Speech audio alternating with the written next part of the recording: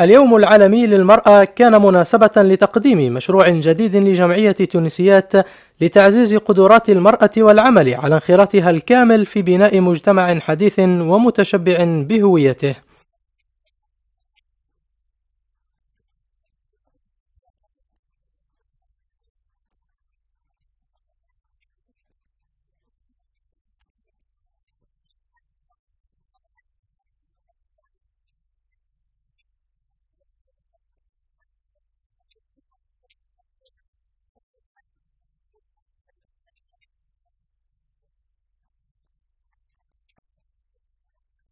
كما تم خلال الندوة الوقوف عند الانتهاكات التي تعرضت إليها المرأة في السابق والتعريف بمشاكلها عبر الاستماع لشهادات حية من الحاضرات.